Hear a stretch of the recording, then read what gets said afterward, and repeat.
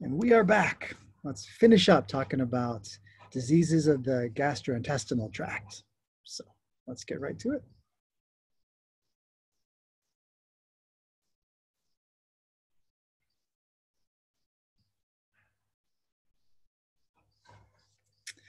All right. So we will begin with uh, GERD, well, reflux esophagitis. What it means is that the acidic stomach contents are go backwards up into the esophagus. And the esophagus is wholly unprepared for this. It's uh, the stomach has mucus, lots of thick layer of mucus, and uh, it renews itself very rapidly. The uh, the esophagus is not prepared for that. It does not have that thick layer of mucus, and uh, so it's going to burn the issue, the uh, esophagus. So very common. Um, um, this GERD, this acid reflux. Um, yeah, and so you'll see it especially uh, people uh, drink, uh, smoke, obesity, and pregnancy, kind of related. Um, uh, it's also involved with hernias too. But if, if you have lots, imagine you have your diaphragm with your, your lungs above it. And then if your guts are really pushing down, it's going to push your stomach up. And so you, you really, after you eat, you shouldn't lay down also because it's going to allow this to happen more if you have GERD. You want to sit up or stand up because gravity will help uh, keep those stomach acids from going upwards too. You should have that lower esophageal sphincter keeping it closed, but if you've got a bunch of weight behind it pushing on the stomach, you're going to have some leakage upwards. Definitely. And really, really cool. So what we're looking at here is the light pink is normal. That's the stratified squamous. We're looking down, we're looking down the esophagus and the stomach is going to be in there. Right? It should be a sphincter holding it closed. But in this case, that more uh, salmon colored or darker uh, layer is the stomach epithelium, columnar cells that's coming up. And the stratified squamous is changing to the stomach epithelium. And uh, uh we'll see, it's called Barrett's uh, esophagus. And uh, this changing, this metaplasia, this changing of one tissue uh, to another in response to this constant irritation can be a precursor to cancer when you, you have metaplasia or changing of cells like this. And it's going to be a precursor to erosion through there and maybe bleeding. Now, occasionally heartburn. If you eat way too much, eat spicy food, feels like heartburn because it's, it's up here behind your heart, but of course it's your esophagus. Um, this reflux is not, not doesn't cause any damage. It's very, very common. But it's if you have it consistently with each meal, then it starts doing chronic long-term damage to your the uh, end of your esophagus. And Barrett esophagus is a condition that look familiar. We're looking at that where you have a changing where that epithelium goes from being esophageal squamous to being um, columnar stomach epithelium and it's gonna it's gonna keep uh, you can follow it as it's gonna keep uh, coming upwards. And because of that, like I say, you have a really good chance of having some um, adenocarcinoma, uh, cancer of the, the glands in, in there. Uh, so they got to watch that carefully. And what also can happen is that you know it can cause um, this erosion can cause scarring, and then you end up with scar tissue and it's kind of a narrowing, and so you have uh, dysphagia and you have pain because your esophagus is kind of closing up down there. So a lot of issues, issues right there. So what you can do is, uh, of course, uh, uh, eat uh, um, things that don't cause this acid reflux. Um, you see this hot pepper here. Spicy foods are an issue. Uh, eating just a few large meals can do it too because you're you're just taking up all the space in your stomach and fluid can go out. Smaller meals spread out will help as well. On the drug side of thing, we call these PPIs, proton pump inhibitors. Remember, when you make acid, you're, you're pumping out hydrogen ions and chloride ions. And a hydrogen ion is a proton. So it's simply going to inhibit you making more hydrogen ions, so be less acidic. And you can take um, um, um, over-the-counter uh, uh, pills uh, that are going to uh, neutralize the acid, they're antacids. Um, and that works as well, but this is a drug that works directly on your stomach. If it gets really, really serious, they can also do things like cut your vagus nerves going to the stomach because that promotes secretion and digestion. but this Barrett esophagus, like I say, uh, it's a it's a condition where uh, um, they really got to watch it and, and, just frequently watch it because uh, it can, can turn cancerous and it's pretty deadly, this esophageal cancer. So that's where they really worry, and they worry about scarring and they worry about bleeding, you know, when you have that, that issue. All right. Gastritis means uh, stomach infection. Uh, and what you're going to have is a, uh, uh, the, the mucosa, that nice lining. You guys that are healthy, their stomach has mucus. You're always renewing it, and you know the food moves along. But if it's if it's inflamed, you have stomach pain, gastritis, and then it can, it can lead to uh, some other issues. Um, you know, what would it what would bother your stomach? Um, you've heard aspirin probably does this, right? So NSAIDs, aspirin, ibuprofen, uh, and alcohol, alcohol too, uh, is, is, not good for gastritis or acid reflux. Um, and normally, you know, your stomach, like I say, it's it's the epithelium is refreshed once a week because it's such a harsh environment, you always make new epithelial cells come from the base up. They're replaced. You make this mucus that has bicarbonate ions that are helping neutralize the acid, and you have this, this protective layer. But you can overwhelm it with gastritis. And what you're going to see is pain. Epigastric means up in this region, and uh, nausea, vomiting, acute gastritis. Yeah. And that hopefully should come and go. Chronic gastritis it means that have, it's a chronic disease. We'll talk about two um, issues with this. The first here is the rare, you know, the other one's 90% of the cases, but only 10% of the cases you have this autoimmune disease um, that we believe destroys the cells in your stomach epithelium. And uh, it's called fundal gastritis because it tends to happen in the fundus or the body, the top of the stomach only. The other most common one is caused by the Helicobacter pylori bacteria. That can happen anywhere in the stomach and even down into the, the duodenum. But uh, this autoimmune happens just in the top of the stomach. They see this. And if you do a biopsy, you can see nice healthy stomach. Look at that deep glands. And then here is a atrophy of the epithelium for sure. And so your body is killing away your stomach lining. Yeah. And you guys should be able to put this all together. If you don't have your cells, the parietal cells deep in your uh, stomach glands, you're not going to make intrinsic factor. And you need that to absorb which vitamin? B12, right? And you get pernicious anemia because you need vitamin B12. Yeah. But gastritis is usually caused by uh, a bacteria, this uh, Helicobacter pylori. And um, uh, it can also it can cause gastritis and can cause ulcers.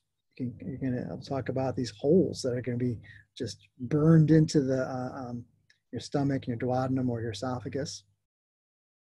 But it turns out they do these uh, broad studies, and they found that a lot of people have this carry this this bacteria, and you can see most are asymptomatic. You right now can have helicobacter bacteria growing in your stomach, and you don't have gastritis, you don't have ulcers, so it's often asymptomatic. But when you become symptomatic, you'll feel stomach pain. You'll feel that pain, loss of appetite, yeah, because you have the bacteria making an infection in your um, in your epithelium. So yeah, what an interesting uh, bacteria here that we're learning more and more about. Uh, here's a study I, I just read. it was in China, and I looked at a whole bunch of people, and they could tell if you had, had the bacteria. They had this breath test, real really fancy. I'll talk about it in a minute. But um, look at most prevalent infective agent worldwide. So yes, Helicobacter successful. It lives in acidic environments. No surprise there, right? So it's living in your stomach. And uh, we don't know how it's transmitted. Like, is it food, water? How, it's how people are getting this? Um, interesting. But it turns out when you get older, you're more likely to have it. And the study and others found these correlations. You see uh, poor, crowded rural areas, uh, more of this bacteria. And even different ethnicities and more education, less bacteria. Environmentally, it's, it's got to be related to not genetics. Um, so you can look at that study if you're interested in it, but uh, pretty cool looking at this uh, prevalence of this bacteria. And you can see grows in the stomach and uh, is discovered as the major cause of gastritis and ulcers. So what can you do? Turns out antibiotics work well. You can uh, take antibiotics. Uh, it's got to be taken for a week or two. So there's some uh, issue with compliance. People stop taking it. But if you take your antibiotics, you can you can kill off the H. pylori. You can be reinfected with it in the future again. It's very very common to happen. But you can uh, get rid of it if you've, you've got some severe gastritis. And then uh, PPIs will also help you uh, ease the symptoms of gastritis because you're making less acid. Another issue here is that uh, sometimes this infection can uh, cause uh, lymphoma or cancer in the, uh, um, the immune cells right underneath the mucosa. And so, uh, and that can spread. So it's true, the book mentions the only cancer treatable antibiotics. Because early on, if you, if you stop the Helicobacter infection, you can, you can stop this uh, cancer event. So how do they know you have Helicobacter pylori? Well, you can do. You can look for if you have it, you've got antibodies because uh, um, your uh, your body has tried to fight it off. It has antibodies, so you can look at that. Um, and then it's interesting. This bacteria it has the ability to break down urea into ammonia and carbon dioxide, and so we can use that. You can take a sample of gastric juices, and you can you can say, oh, got the bacteria. We can actually see the bacteria if you get going and take a sample. You can grow the bacteria. Say, oh yeah, you have it because we found it there, right? Um, and then this uh, breath test, they give you, um, they label, they make heavy carbon in the urea. And then it turns out this bacteria has this unique metabolism that we can exploit. It breaks it down into uh, carbon dioxide. And that carbon in the carbon dioxide is heavy, it's labeled.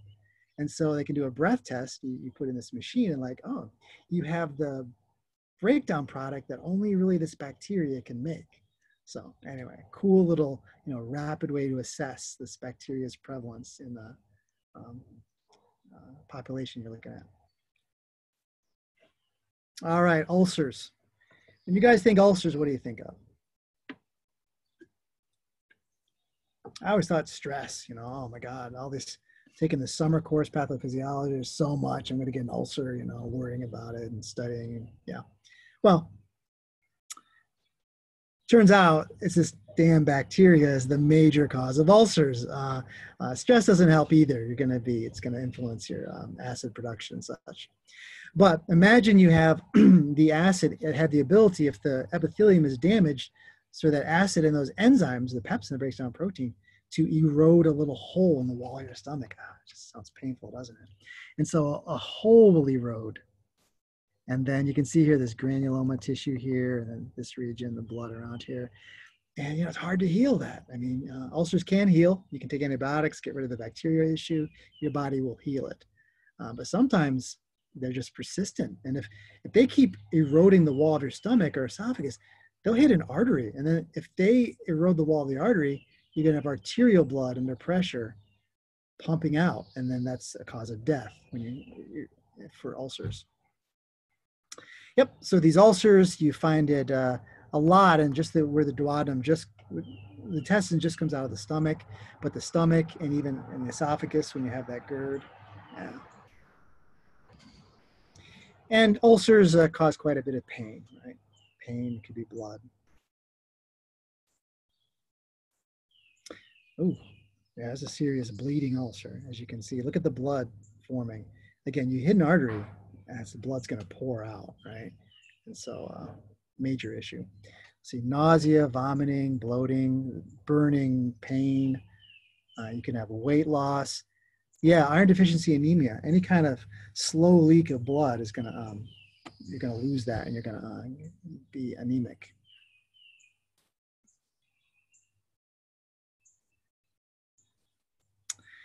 All right. So you can see here that uh, even 20% of people that, uh, that, that, have the pylori uh, gastritis, they don't have the ulcers. So it's not automatic you're going to get an ulcer.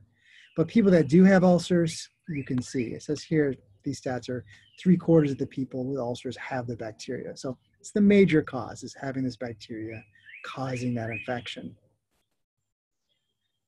Yet there are some medical conditions that alcohol alcoholism too makes you more likely to have uh, uh, ulcers. And then, yeah, you take a lot of aspirin, definitely. Smoking, steroids. So what can we do? Well, if the ulcer is not healing, even antibiotics, it's uh, surgical intervention. You got to go in there and uh, maybe cut out that area, sew it back together, definitely. But PPIs to prevent more acid secretion, try to help out on that end. Um, figure out what's causing the ulcer. Again, antibiotics, right? Because uh, they'll often come back, people with these peptic ulcers. All right, so that's it with ulcers. Um, yeah, painful situation. So malabsorption means you're having trouble absorbing nutrients. And rarely is this such a big problem that you die right away. You know, like you, can live a day without getting you know, absorbing nutrients. Um, uh, yeah. So, um, but you can have issues, especially malabsorption of certain vitamins and stuff. It's a, a chronic kind of thing that's going to pop up if you can't uh, absorb your food properly. In many cases, it can be like an enzyme, like a lactose intolerance, where lactase enzyme is, is screwed up, so you can't do that. Uh, or you can see many different ways where you can't absorb properly the nutrients. So again, uh, a lot of genetic diseases are such where it changes the protein in the enzyme, it's misshapen, and the enzyme doesn't work. So you have problems absorbing fats or certain sugars you can't break down, et cetera, et cetera. If your pancreas has an issue, you can't make enough pancreatic juice. That's where a lot of your enzymes come from. Indeed. Uh, infectious diseases, uh, these are uh, bacteria that are such that are uh, competing with your normal natural bacteria and causing problems absorbing nutrients. Autoimmune definitely can break down your own uh, epithelium of your gut. Um, if they remove a bunch of small intestine, get the small bowel syndrome where you, you need a certain amount of small intestine and you can't absorb enough nutrients. And as you get older, you have just degeneration of the epithelium, just less and less active, and so you absorb less and less nutrients. Yeah, and for instance, an interesting one is this, maybe some of your lactose uh, intolerant. And uh, this whole ability to, that we drink, the idea that we drink milk as adults, we're the only mammal that does that. You don't see a little squirrel or a deer as an adult looking for a glass of milk, right? I mean, they drink it as babies and then they wean themselves.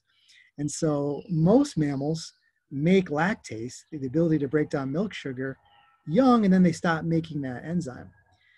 But there was some population, we think in Northern Europe, that uh, had a mutation that there was selection for them to retain the ability to digest milk as adults.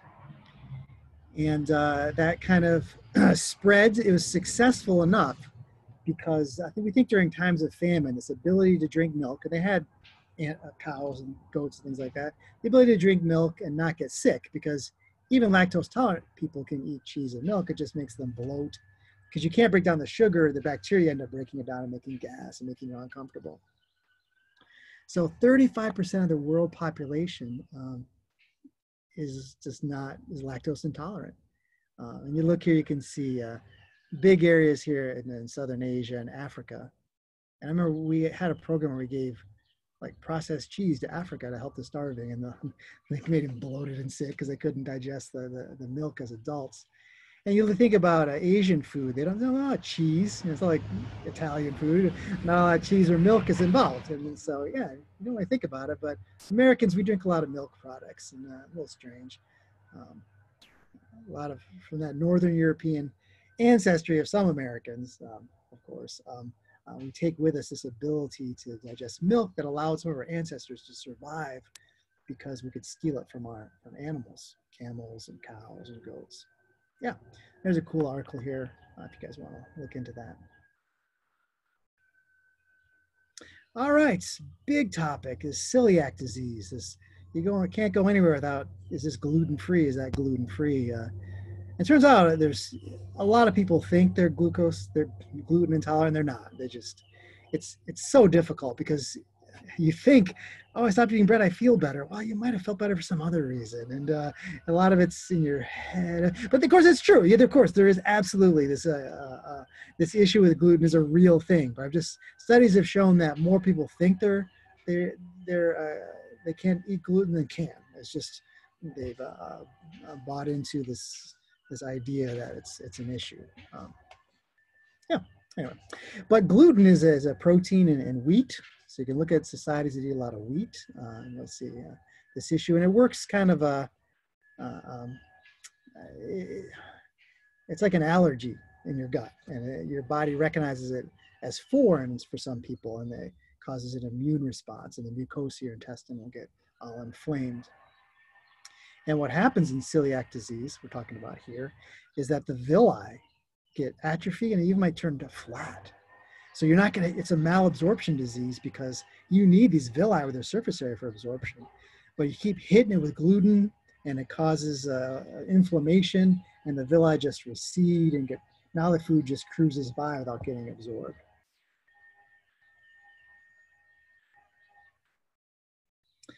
So some issues with it, of course, uh, gas and, and diarrhea, um, and malabsorption because your gut's not doing a very good job absorbing. And with that, uh, lack of calories. Yeah. So, of course, when you get a, di a, diagnosis of this, you change your life to start reading the labels and not having uh, grains and, and normal beer and things that are not gluten free and that should reverse this inflammation. And uh, but without it untreated, whenever you have bread and such, it's going to uh, cause damage to your gut. A diagnosis, they do a biopsy. You guys see this? Yeah, you can see how the villi and the epithelium are being destroyed. and you can also just look at uh, in the blood and find antibodies against uh, gluten that tells you, oh, you've had a reaction against gluten, which uh, you shouldn't have a reaction because it's you should just be able to digest it. Saying. Yeah, and definitive. If you take away gluten, it gets better. How's that? All right. Well, I don't know if you guys have had uh, you traveled places um, and had uh, uh bad uh, um, intestinal experiences. But our flora in our gut is ours. And when you throw in some strangers, they often fight, and uh, you, have got some issues. And your body will react, vomiting or diarrhea, to try to flush out the bad guys, right? All right, so intestinal infections. Uh, we're mainly talking about like if you go and you drink the water in a place in Mexico, you're not supposed to. Uh, um, you are what you're doing is you're uh, um, uh, even if you have salads or fruit that was washed in water and people with their hands. It's a fecal oral route so the idea is bad sanitation includes washing of vegetables and stuff. You're introducing that and uh, people there live with it but you come into this region without it and you, you have a little fight going on in your, in your, in your gut. So these pathogenic bacterias if you have enough uh, high enough dose you are going to uh, cause this uh, intestinal infection. Small numbers, a few bacteria you can just fight off. Yeah, including diseases like cholera and typhoid or bacteria that live, uh, that can be spread through the fecal oral route through bad sanitation. Yeah, let's take a look at some of these. Yeah, viral enteritis. Oh yeah, I've heard, heard of some of these. Um, here's the traveler's diarrhea. A lot of it's E. coli, some ones that are particularly give off some bad toxins. Diarrhea, cramps, you're gonna just feel crappy for like a week. Uh, food poisoning, salmonella, right? If you're cutting chicken, don't use the same, you know, cutting board for your vegetables. Uh, yeah, short, but bad yeah acute onset. So right once you eat the food you should feel bad after that. And you should see this other people that ate the food should have similar uh, symptoms. So you can see these are some of the clues why your your stomach hurts as if you can put together what happened here. And then dysentery and typhoid are major killers in uh, they're ep- epidemics in uh, other parts of the world besides the united states um, and uh, killers too especially children because they end up with diarrhea and you're like, well, I can survive diarrhea. Well, if you're a kid, you only have so much fluid. And if you don't have an IV or you don't have saline solution, Pedialyte, you know, all these things, um, you're going to die of dehydration, a di- diarrheal disease that um, we could have saved you pretty easily if you with the right medical equipment.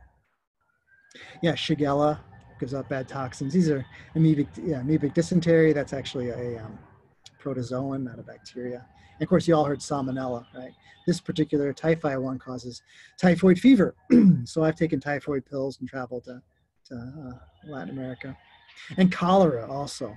Uh, cholera is a, is a disease that um, um, we don't hear about too much here, um, but uh, you can see that can kill you pretty quickly. All right, so get some nasties um, in your body and uh, can make you very uncomfortable. And uh, without medical intervention, some of these diseases are big killers. Let's talk hernias. Well, first of all, a hernia, you can have all kinds of hernias. Um, a hiatal hernia, this piece of your intestine goes up that hole where your esophagus comes in, it goes up into your chest cavity or your mediastinum, your heart. You can run out your belly button. You can see here, if you've had a surgery, you can have one out there. It's a hernia is a part of your body that goes where it's not supposed to.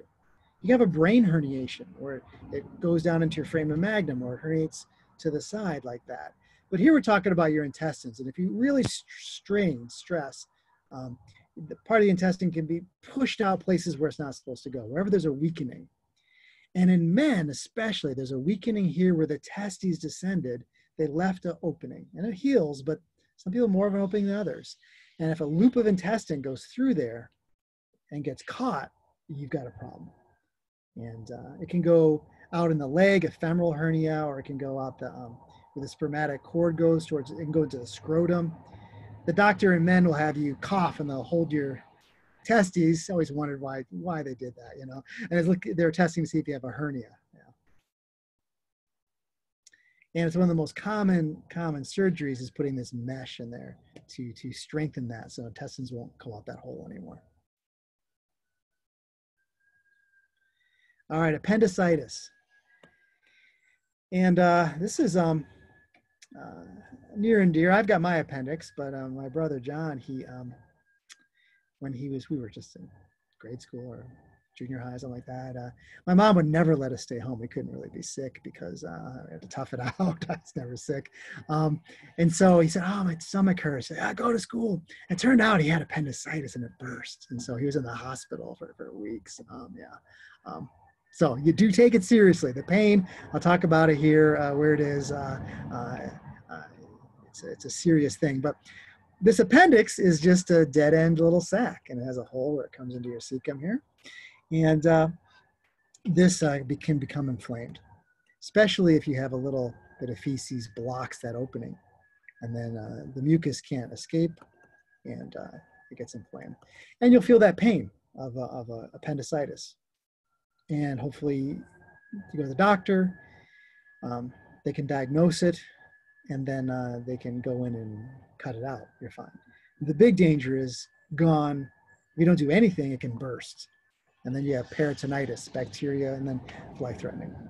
So anyway, this appendix is a little uh, uh, uh, a little extension off your intestines. It's like really narrow, the size of maybe a sharpie or something, maybe a little smaller than that.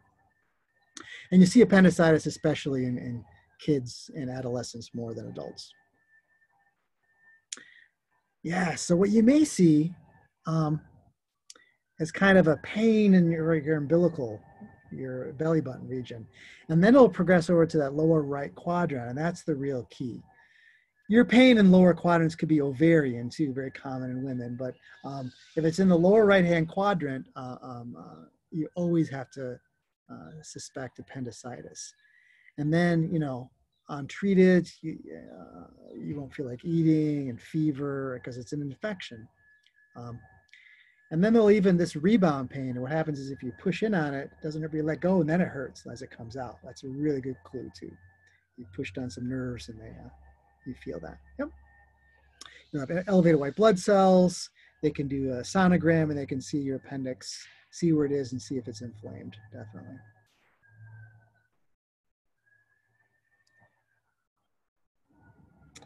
So it is a surgical emergency. It's actually how Houdini died, the great magician. Uh, the, the night before, he was actually punched in the, in the region and it burst. And He died the next morning. So, fun fact. Um, but uh, nowadays they can even do laparoscopic surgery. They put a few holes.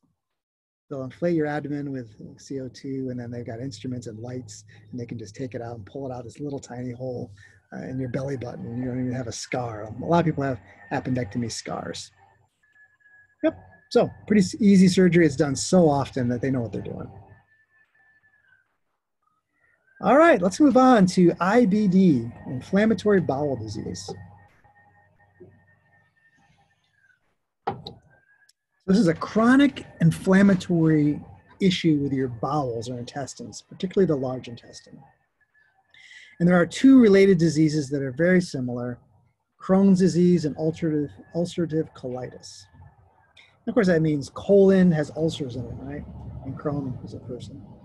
Um, and so there's a lot we don't know about um, about uh, IBD. It's really interesting, but certainly we know there's evidence there's a genetic component. Uh, maybe autoimmune is involved, um, particular uh, uh, microbes or infections, and other things about the environment. So uh, all these things are contributing to this, we believe. So how do you know if it's Crohn's or ulcerative colitis? Uh, uh, mainly it's going to be, you can see the differences where you really find it. Like colitis is only found in the colon, usually this part of the colon here. And Crohn's disease, not only can it be found even in the, the ileum and places, but it's often has this kind of cobblestone effect. It's in different places. And this is where your bowel is really inflamed. Um, and uh, you'll have a lot of uh, uh, damage to that, uh, to the epithelium, and a lot of pain and a lot of issues um, your bowels. So looking at the two, you can see uh, uh, that uh, ulcerative colitis, um, usually just the, the mucosa, and this goes all the way through in Crohn's disease. Um, here, this Crohn's disease is patchiness, um, often described as this cobblestone effect, definitely. Um, and with ulcerative colitis, um, that's the one you see uh, about 5% develop into colon cancer. So they really got to watch that carefully you're diagnosed with that, they got to watch for colon cancer as well. Um, yeah, ulcerative colitis might be able to uh, um, uh, cut some of that out. Yeah. Um, surgery contraindicated. So they, don't normally go in and cut it out. You might say to yourself, why not? Well, they, they must know that uh, by doing that, they, they didn't really solve, solve the problem there. So just another view of it, you can see ulcerative colitis in this part of the colon, whereas in Crohn's disease, they show it in many areas kind of um, patchy like that. So what can they do? Um, you know, real severe, they can they can cut out some of the bad part. But it turns out when they cut out a piece in some of these, that it's almost 100% of the problem begins elsewhere. And so that's why the issue is they know from history that you can't just, uh, it's not that easy. Um, yeah, and some of the, they use some chemotherapy drugs that prevent rapidly uh, dividing cells, so things they use it with cancer as well, and steroids and uh, anti-inflammatories um, to help just control this, this inflammation in, in your gut. All right. Uh, I, I, skipped one thing. I, I just because I wanted to. Uh, we only have so much time, but uh, but that's uh, inflammatory bowel disease. All right. Diverticulosis. I had problems pronouncing that the last lecture. Diverticulosis, diverticulum. I don't know what the problem was. Um, but these are outpockings, out po little pockets that come off of uh, your colon. And in many cases, they are uh, asymptomatic. You got them, you die with them, right? But they can cause some issues. Um, they can become blocked, inflamed. The walls can weaken, and you can have uh, perforations, things like that. But if you have issues with them, uh, yeah, change in bowel habits because it's going on in your colon, and then pain, fever, nausea if there's any kind of uh, infection. This shows one way you can look at it real nicely is to put barium, this liquid, in the, an enema, and it fills in every nook and cranny, and you can see it'll fill up those uh, diverticulum. And here's a view with a colonoscopy. You can see these openings leading to diverticula. Nice and clean colon there. Yeah, and so issues, of course, being if these these diverticulum they get clogged up um, or they they get weakened and they burst, and uh, then you're going for immediately antibiotics, uh, surgery because you got feces and bacteria in your peritoneal cavity. Yeah, and if you have a problem or it gets really inflamed, it can form scar tissue and it can kind of obstruct. And so your stools will start changing as they've got to get past that obstruction. All right, and finally to cancers. So we'll talk about uh, some neoplasms in, uh, in your GI tract. We already talked about up in the mouth, talking about some uh, cancers in the, the tongue, the larynx, and carcinomas up there. But let's get to the uh, to the gut tube here. So you can have esophageal cancer, stomach cancer, colon cancer, anal cancer. So anywhere along here, you can have cancers forming, and it's kind of expected. Um, um, you have epithelial tissue that's rapidly dividing. So like skin cancers, there's chances for mistakes when you have tissues that are rapidly dividing. So you can see why there'd be more of these in like cartilage cancer, things like that. So most of these are colon cancer. Colon cancer is a big killer, and uh, we see it more often. Although esophageal cancer is rare, it's also kind of deadly too. Yeah, let's just take, guys, feast your eyes over this. Take a look from the top to bottom. Esophagus, five years survival, only 20%. Yeah. And causes, yeah, smoking, alcohol, GERD, you're always irritating that tissue. And look at the age of diagnosis is in your 60s and 70s usually. And HPV, the virus, of course, can cause cancer. And looking at the colon cancer, yeah, pretty, pretty good survival rate if they catch it early. And again, the colonoscopy, they can find a polyp before it turns uh, cancerous. Yeah, I notice they're going to notice like anal cancer earlier because it's on the outside as opposed to something in your stomach. You have to have other symptoms before they catch it, and by then it's a little bit further along. All right, so these polyps, and to me, in marine biology, a polyp, I told you it looks like this, but kind of looks like that. It's going to grow out. It doesn't have to have the little fingers. Sometimes it does. It looks like it has little fingers coming out. But um, uh, these are, it can be a benign growth or it could be malignant. It can be benign and then it can turn malignant.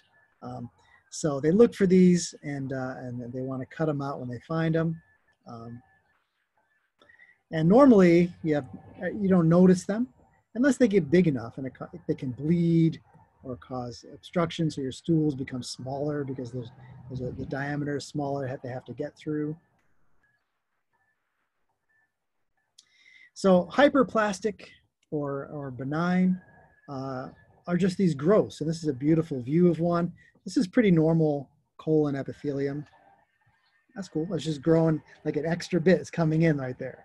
Um, but an adenoma is going to be cancer of um, gland cells. And so you look at these and you look, I'm looking at this epithelium like, oh, damn, that's a lot of nuclei. Almost like pseudo-stratified in there. And so very abnormal looking. And, and you look at the whole histological structure is abnormal. So when you do a biopsy of a, of a, polyp and you look at it, if you see like normal colon tissue, it's like, oh, it's just kind of an outgrowth. But if you see cancerous signs and you're like, oh, we need to get all of that out of there, right? And it's slow growing. So again, this polyp is absolutely no danger. Even though it's turned uh, uh, to have abnormal cells, it's still okay for years maybe, but eventually it gains the ability to erode through the wall of the colon and then it finds a lymphatic or a blood vessel and it can spread to your liver, your bones, your brain. All right, so we often call it colorectal cancer instead of colon cancer or rectal cancer because they're really, they're the same epithelium on the inside. So it can happen uh, anywhere up there um, towards the end of your digestive tract. Remember, carcinomas, cancer of epithelial cells. Sarcoma is connective tissue adenoma. Adenoma is uh, gland cells. All right, so colon cancer, colorectal uh, cancer, um, some of it's definitely familiar. We talked about having a genetic uh, uh, uh components. And when they find like that ulcerative colitis, uh, if you have constant irritation, irritation, it could cause change, cancerous changes in, in the wall. Diet, yes. And so you probably think about this. Talk about a low fi- high fiber is good against colon cancer. I'm sure you've all heard that. But it's been found that, uh, uh, actually, this looks delicious. I'm no herbivore at all. Um, yeah, but steaks, uh, especially you know charred meat, but high a diet high in red meat, and also processed foods. So they got lots of things in our deli meat, stuff like that. So highly processed foods are found to be a risk factor as opposed to more fruits and vegetables, of course, right? Um, an idea here is that uh, if you're if you're nice and regular with lots of bulk and you then uh, it keeps things moving in your colon and that letting the feces rest for long periods of time against the epithelium that could be uh, damaging to the epithelium it's an, it's an idea and then looking at colorectal cancer um, you see that we see it a lot of developed countries and some of the richer countries um, looking at the darkness here, you, see all of Western Europe. See that? And in Canada, and the U.S. and Australia, they light up. Places without a lot of colorectal cancer, you see places in in Africa and, and uh, the Middle East and, Central America. So uh, yeah, I imagine it's the environment and diet is having an effect on this. Obviously, the older you are, the greater the risk yes, obesity and inactivity, smoking, alcohol, diabetes will all be risk factors for colon cancer.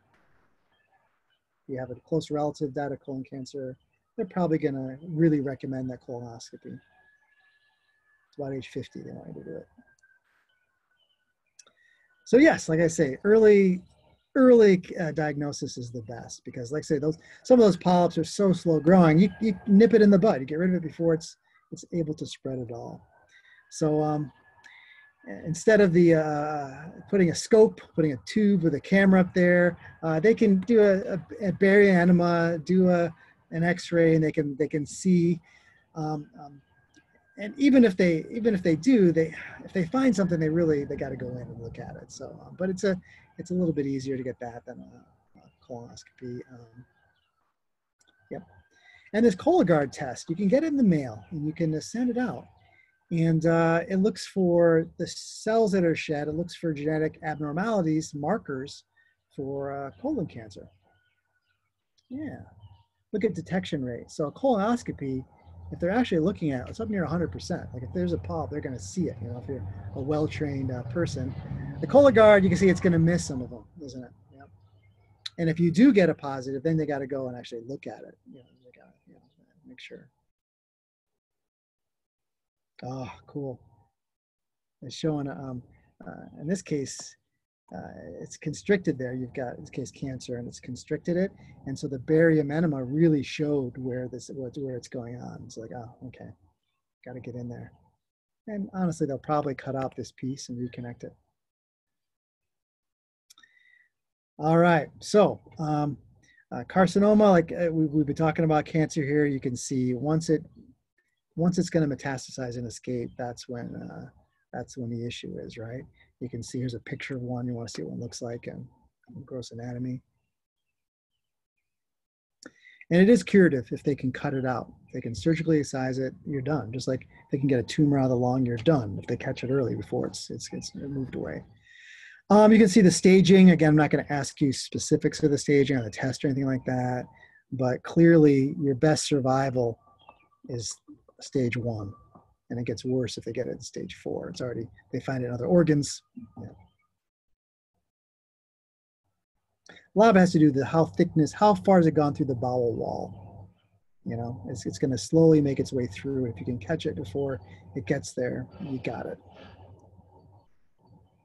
this, this is a really cool picture. Here we're seeing normal, uh, see all the layers, the muscle, submucosa, mucosa.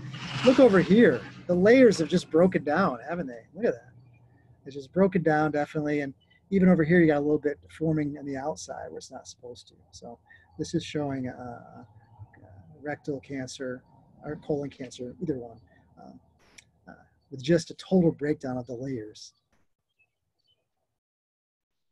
So, what are some of the clues? You know, if you didn't get that colonoscopy, what's going to bring you to the doctor suspecting this? Well, bleeding. When you see fresh blood in the stool, could be hemorrhoid or it could be a, a, polyp that's bleeding. Uh, altered bowel habits, definitely. It's going to be the a clue that might bring you in first that your bowels are wrong. Just, Doctor, I, I don't want to talk about it. It's not, you know, it doesn't seem, maybe it's important, maybe not. And the first thing to suspect is well, let's look at you know, worst case is going to be looking at colon cancer. Yep. If you're anemic, one thing they look at the checklist is uh, is uh, bleeding, and then that's how you become iron deficient anemic. If you're a male, particularly, you don't have that uh, that risk factor of uh, being a premenopausal female. Um, that's something they, they have to look towards. Is it an ulcer or is it a colon problem? And to diagnose it, of course, they just get a sample and look at a biopsy. All right, and lastly, organ failure. What happens when your your gut fails you completely, right? Well, the absorption process, is, you know, if it's something acute, it's going to come and go. That's no big deal. You can you can live without food for weeks, right? Months actually. But what often kills people if you're an infant is this fluid loss. So this vomiting and diarrhea, you got to replace those fluids and electrolytes. And it's critical if you're an infant or a baby. Yeah.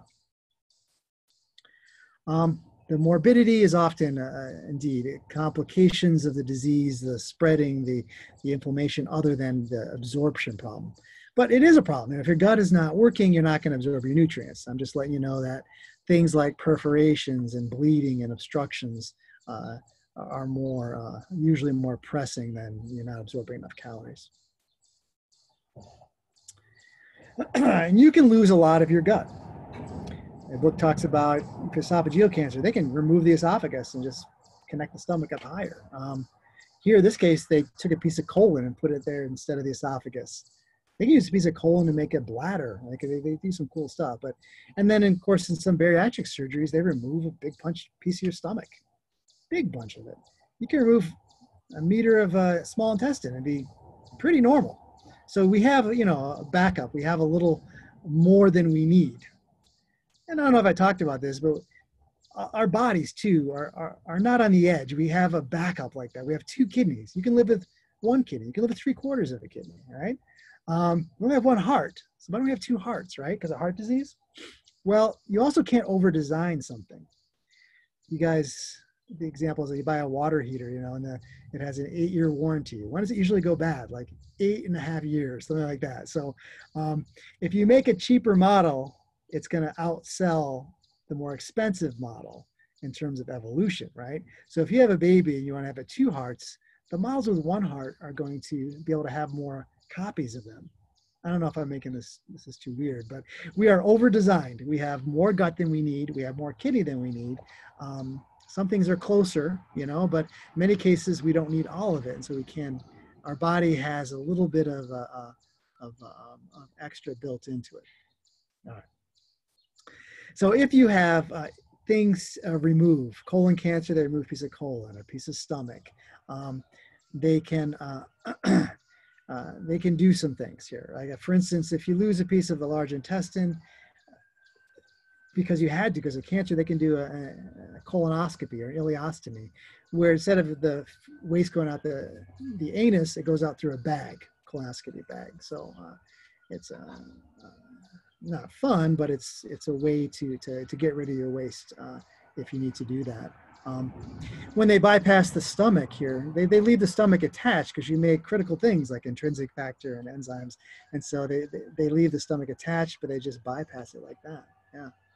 Um, so you can lose pieces of gut and be fine. They will just reattach them.